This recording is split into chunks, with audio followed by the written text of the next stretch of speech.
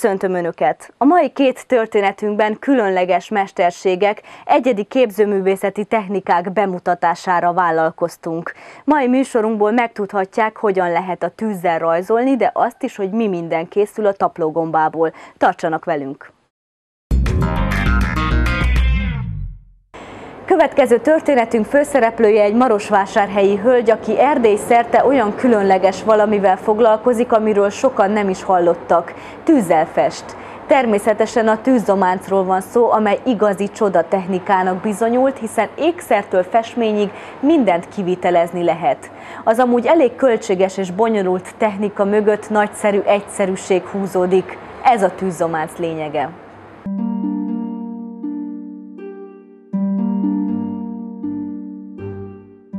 A tűzzománc ősi képzőművészeti technika, már a bizánciak is alkalmazták. Alapanyaga az üveg, amelyet színezhetünk különféle módosító anyagokkal.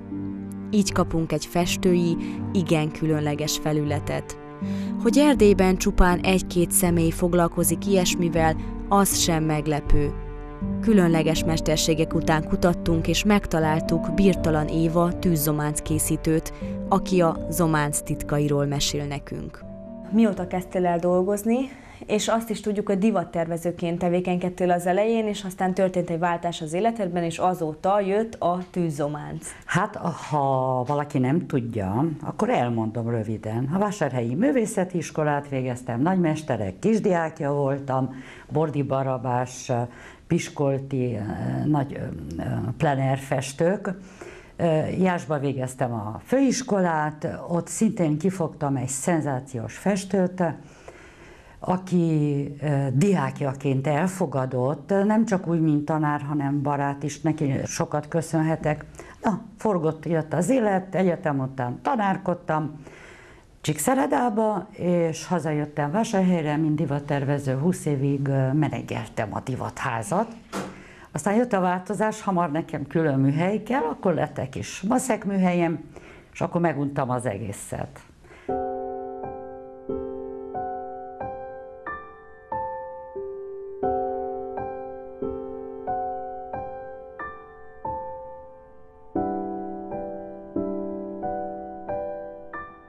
Stábunkkal ellátogattunk Birtalan Éva otthonába, ha úgy tetszik a tűzzománc birodalomba. Ennek a birodalomnak egy kis része az a műhely, ahol a csodák testet és formát öltenek. Itt tölti napjának nagy részét Éva, és vele együtt a mindennél jobban dédelgetett kutyája, aki legtöbbször az ablakon keresztül kémleli ezt a csodálatos világot. Pécset voltunk um, egy kiállítást megnézni, és ott egy egész kicsi tűzománc lapot láttam, és akkor mondtam a férjemnek, én ezt fogom csinálni, és az úgy is lett.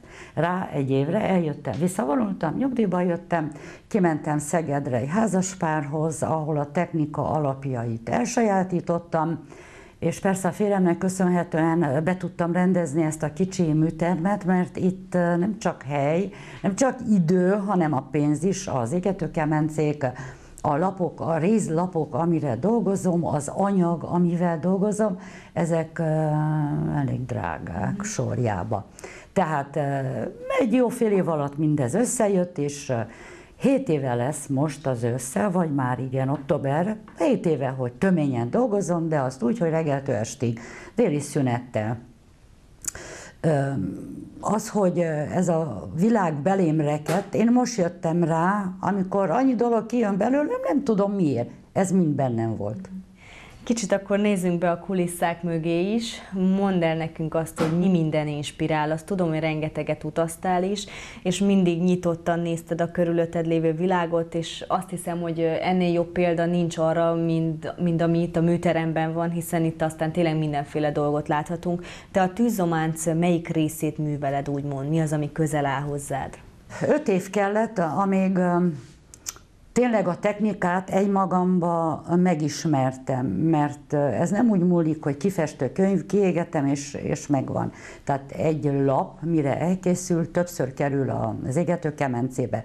Tehát amikor már úgy éreztem, hogy a technika, technikába eléggé jártas vagyok, akkor kezdett kialakulni bennem az a része a tűzománcozásnak, amelyik egészen közel áll hozzám a rekezzománc és a festőizománc. A rekezzománccal egy nagyon érdekes dolog, amikor Kecskemétre kimentem, akkor kérdezték, hát honnan tudod? Hát honnan? Hát, hát erdélyi vagyok, mert ennek a neve Erdélyi Magyar Rekezzománc a 15. századtól, Mátyás király udvarában voltak az első mesterek, akik ezt művelték. A festői rész az meg automatikusan, mert az vagyok, a festészeti kart végeztem, az vagyok, és az most technikát, technika függvényében jött elő belőlem, mert ahhoz, hogy a festőizománcot elkészítsd, oda más technikával kell dolgozzá.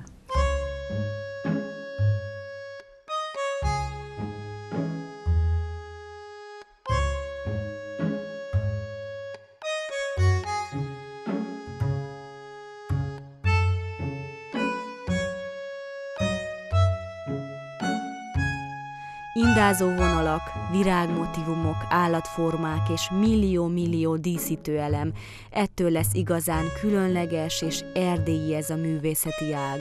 Rólunk szól, a mi hagyományainkat viszi tovább, Birtalan Éva szemén és fantáziáján keresztül.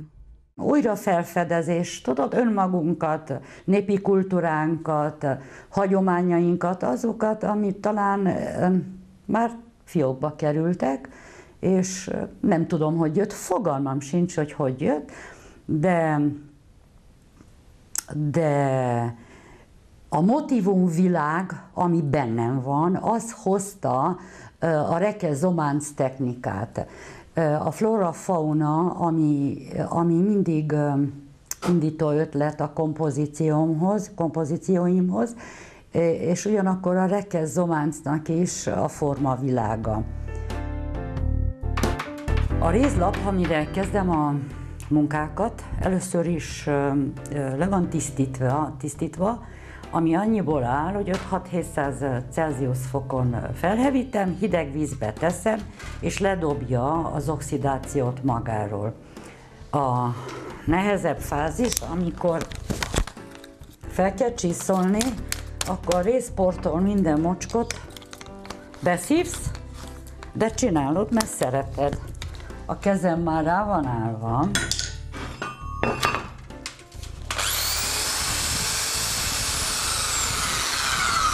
Ez valahol így működik. Amikor az egész lapot felcsiszoltam, akkor jön a totál zsírtalanítás, ami abban áll, hogy egy ilyen sorssavas fürdőbe beteszed, utána nagyon jól letisztálod. Egy lap színezése, mondjam így, nem a festékek, csak a festékek feltevése, hanem az, annak égetése adja meg a színt. Tehát persze vannak olyan anyagok, amelyekben pigmens is van, de vannak az oxidok, amik égetéssel kapják meg a színüket, szenzációs dolgokat lehet kihozni. Nagyon gyorsan arra is rájöttünk, hogy bizony ez a mesterség igazán megterhelő tud lenni egy hölgy számára, de aki igazán szívvel műveli, annak nem akadály még az sem, ha több kilós nyomtatókat kell emelgetnie.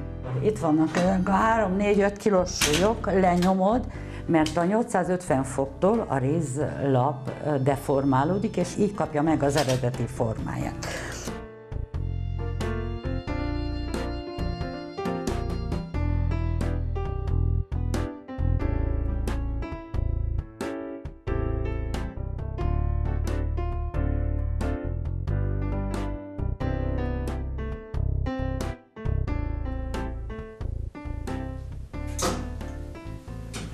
830 fokon égett, egy perc és felett.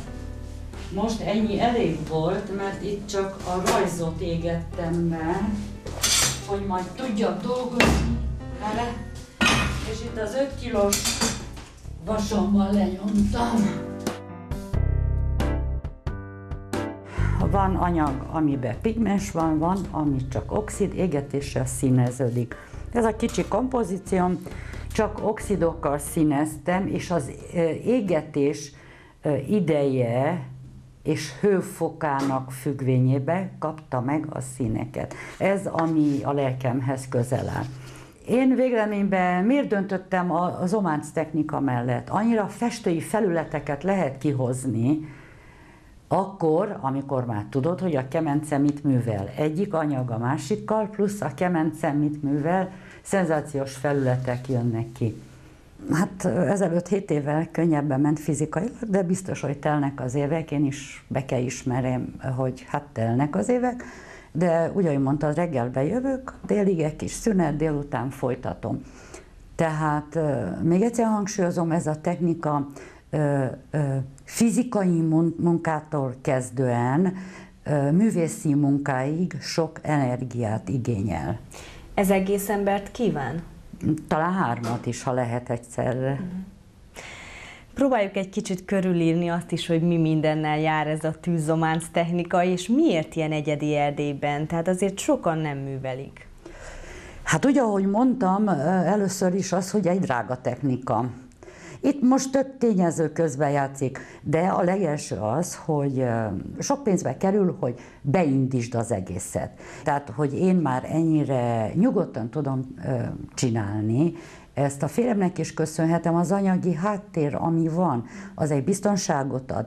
Tehát én most nem kell elfecséreljem magam, hogy csinálják egy gicset, mert én azt eladom.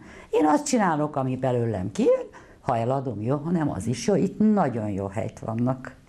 Milyen jövőt jósolsz te itt Erdélyben a tűzománcnak? Hogy látod, hogy lesznek-e még alkotók? Említetted, hogy Kolozsváron van még egy igen, házas pár, aki ezzel igen, foglalkozik, igen. de azért olyan nagyon sokan nem vagytok itt nem, Erdélyben. Milyen nem. jövőt jósolsz? Hát pont ezért, amit mind hangsúlyozok, hogy egy kicsit drága technika, talán a lányom, mert ő is képzőművész, ő kerámia kart végzett Kolozsváron, talán ő már sok dolgot tud, most neveli az aranyokat, és akkor majd, majd nekik átadom. Hét év az elég hosszú idő. Hogy látod, hogy milyen periódusok voltak az életedben? Volt-e egy kísérleti fázis, akár a színek, formák esetében, és most van egy fajta letisztult, birtalan éva, és most már tudod, hogy mi az, ami igazán közel áll hozzá színekben, formákban, gondolatokban? Hát most már tudom, igen. Egy olyan egy-két év volt, egy olyan keresgélés, technikai keresgélés, mert ahogy már mondtam, a formai világ az bennem van. Az, az jön ki, tehát én azért nem kell kínlódjak. Most volt a, egy, egy nagyon szép egyéni kiállításom a Kultúrpalotta kiállító termébe, és Nagy Miklós azt mondta, hogy nem tagadhatom le, hogy a Kultúrpalotába jártam a liceumi éveket. Tehát az a magyar szecesszió, ami a kultúrpalotában van, ami a környezetében van. Tényleg öt évig mi ott éltünk, a műtermeink annak idején fenn voltak a harmadik emeleten. Ott sarokról mindent tudtunk el és hátra, és az, az megint bennem maradt. Tehát én ezt nem tudtam, de bennem van, bennem maradt. És most szedem elő őket.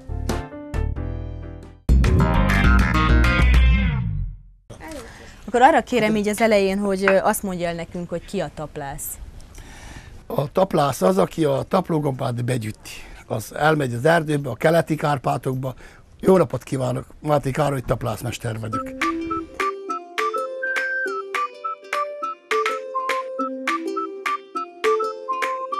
Kisasszony, tessék közelebb jönni.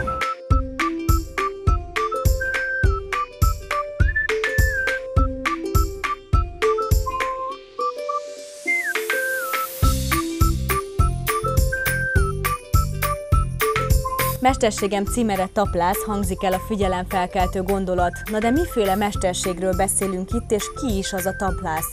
Tudjuk-e, hogy itt Erdélyben vannak olyan szakemberek, akik évtizedek óta foglalkoznak a taplóművességgel, egy olyan mesterséggel, amely valamikor virágkorát élte. Egy különleges és eltűnőben lévő szakma után kutattunk, ma megismerkedhetünk Máté Károlyjal és családjával. Ez hat éves volt a gomba, amikor megkaptam, úgy megütött vállon, hogy elájultam. Van néhány olyan család, akik nagyon régóta űzik ezt a mesterséget. Ön kitől tanulta? Én eh, édesapámtól, édesanyámtól, eh, nagybátyáimtól, eh, testvéreimtől, de sajnos a visszaemlékszek 40 évre, akkor 300 család volt, ezelőtt 40 évvel, a község ebből élt, vitték a a készterméket turisztika helyekre, Fekete-tengeri part, Színaja, Pojánabrassó, Gyilkostó, Parajd, Szováta, vitték a olyan helyekre, Magyarországra. Személyesen édesapám fiatal ember korában, mivel hogy nyolcan vagyunk testvérek, 11-en ültünk az asztalhoz, és szükség volt a családfenntartónak a pénzkeresetre. Mit tartson a kezében? Két taplót, amelyik nagyon, nagyon hasonlít egymáshoz, mint a básod, és nedves állapotban nyúlik, mint a rétes, azt is mindjárt meg fogom mutatni.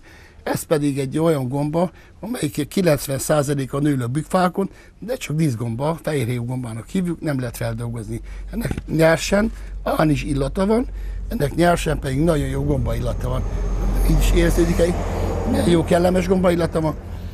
Ennek halványon az án is, illat. És uh, inkább evel különböztetnek meg, kiskoromban kellett szagoljam a gombákat, és meg szokjam, hogyha elvittek engem az erdőbe, és felmásztattak a fára 14-15 évesen, akkor ne a rossz gombát gyűjtsem be, hanem csak a jó gombát, mert sokat kellett cipelni, 50-60 kilométert cipeltük. Hogyan néz ki ez a folyamat, amikor elindulnak közösen a családdal? Hát indulásból szellemileg kell félkészülni, szabadá kell magad, és kell vállalni azt, hogy, hogy a láthatatlan ellenséget győzöd le, kell vállalni a láthatatlan ellenségnek a legyőzését, ami abból áll, hogy a természetbe bele kell olvadj, és vele kell együtt élni. Elmenjünk, gombát fogyasztunk, piszrángot fogunk, természetbe fogyasszuk a fisa, forrásvizeket, elmegyünk és ottan feltaláljuk magunkat a hegyekbe. Annyi történetem van ilyen vadász, medvével és szarvassal és piszlággal és kígyóval és rossz emberrel és jó emberrel. Egy hónapot tudok beszélni róla.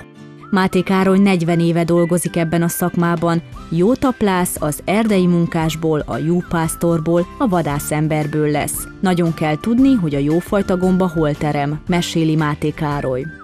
Mindazt, amit itt látunk, főleg a hátunk mögött is, ezekből a gombákból készül az ilyen típusú igen, gombákból? Igen, igen, jófajta Tessék megnézni, ez a, a Gutin, Gutinon a nagybánya, utána jön Erzsébetváros és a Tisza partján. Onnan a tavaly gyűjtöttük be a feleségemmel, mert én régen fiatal koromban édesapám megmutatta nekem a, a Máramarosi és a nagybányai hegyekbe a taplósfákat, és akkor elvittem a feleségemet, anyósomat, hogy csináljunk egy kis körútat, kirándulást, és közben felmentünk a hegyekbe taplászni, és nem voltunk eléggé felkészülve, ott kellett hagyjuk a hegyeket, haza kellett jöjjünk, és akkor új, új erővel visszamenjünk a feleségemmel a, a gombászat, fel kell készülni. De akkor itt koron környékén ilyen jellegű gombákat nem lehet találni, hanem inkább, van, inkább igen, ilyen inkább, típusúakat igen, igen. szoktak szedni? Itten 90%-a itten ilyen fehérjéú gombaterem, innen az, az első hegység, amelyik már nyújt nekünk egy kis gombát, az a Székely Varság és környéke, és a, a bucsintető és környéke. Ez egy begyűjtött gomba, három hétig egy faládába fülleszve van, az azért, hogy a kukacok belőle jöjjenek ki, és pusztuljanak el, utána kiteszem a napra, régebben a tyúkok ették le róla a kukacokat, mostan pedig lemossuk ilyen kocsibosóval, és kövé szállítsuk. Ez egy olyan gomba, amelyik száz év múlva is ilyen kellene legyen, ilyen kell ha valami legyen. baj nem éri, száz év múlva is ilyen. És gyermekeimnek, unokáimnak, ökonokáimnak is tudok begyűjteni gombát, mert attól tartok, hogy már nem lesz eh, következő generáció, mit begyűjtsön, mert ezeket az ősfákat kivágták már nagyjából. Ez a legrégebbi taplófaragókésem, a célból készült, kovácsolva van, eh, minden eh, ember a saját kezileg hajtassa, készíteti, vagy készíti meg a faragókéseket. Ezek már 23 éves kések ezek már. Akkor ez kezdtem. önnek készült, vagy ez a szülőktől örökölt? Én nekem készült ez a kettő. Tehát ez mire van? Evel faragom ki a taplógombát. Taplógombát. Faragók is, tapló faragók is. Tehát az egyik legfontosabb szerszám. Így van, így van. Utána a legfontosabb az ész.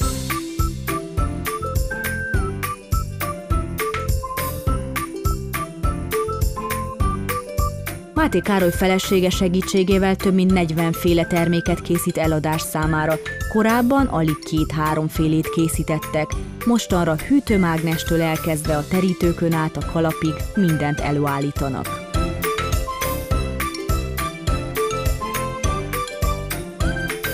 Ez a tapló faragó székem. Ekkor a gombát faragtam a térjemen, térvédővel, és így, hogy faragtam, és nagyon erősen meghúztam, elvágtam a lábam, idáig komplekt ketté vágtam, így a térgyem kalácsát.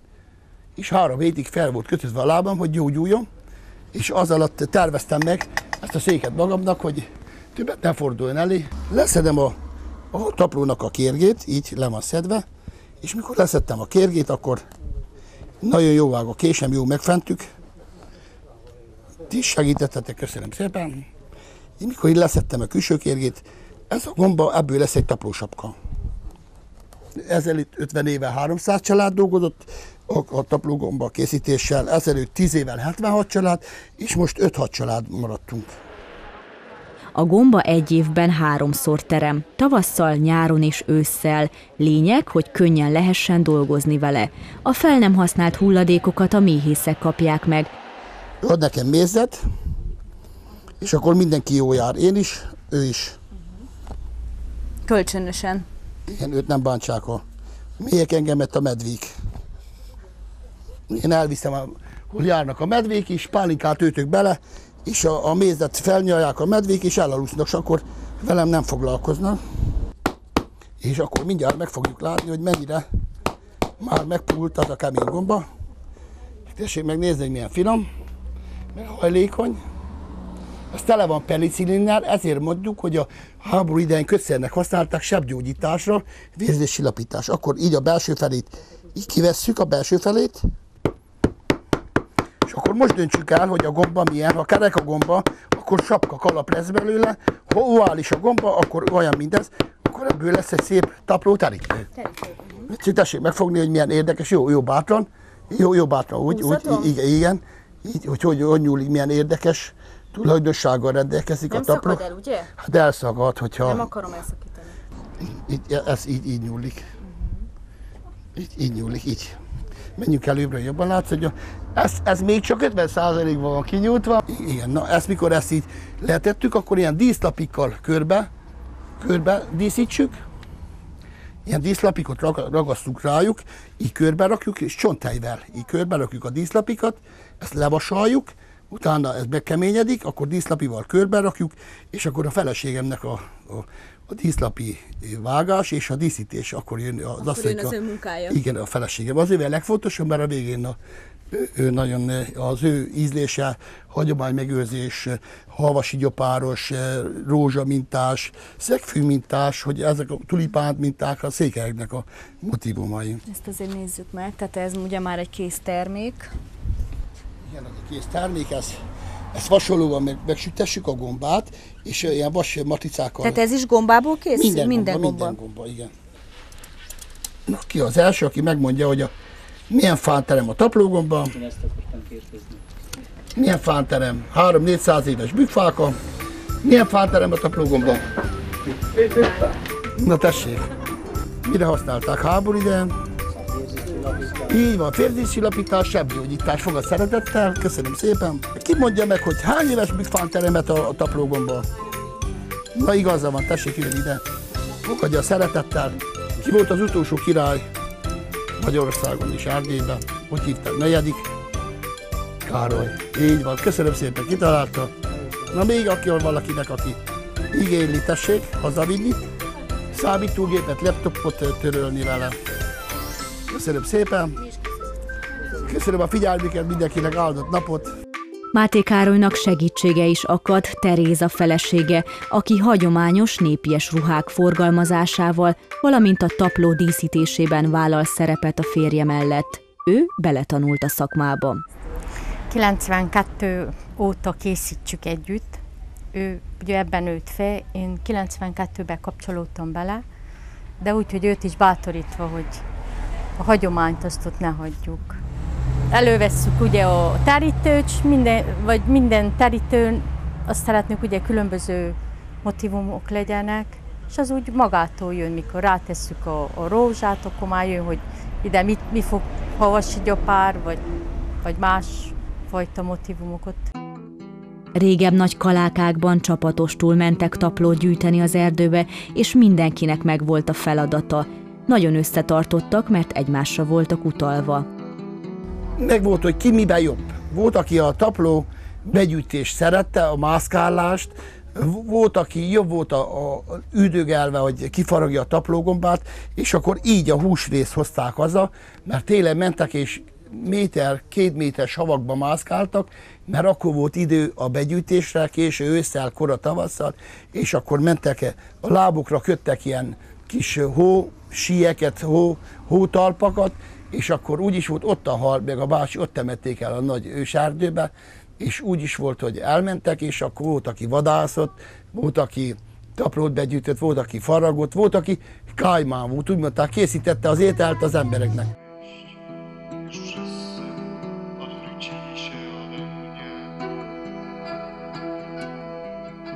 Akarom tovább is vinni, és akarom tovább is tanítani. Most akarok egy komoly műhelyt, és egy kis tájházat építeni, amivel megőrzöm az őseinknek, és a, a, a családomnak a, a szerszámait, a felszereléseit, és továbbadni az utókornak. Ezt szeretném. Akkor ezzel a pozitív gondolattal zárjuk, tehát van jövője ennek a szakmának, és reméljük, hogy lesz jövője a tovább. Így van. Csak dolgozni kell érte sokat, hogy legyen úgy, hogy szeretetből kell továbbadni, mert csak úgy lehet, csak szeretetből.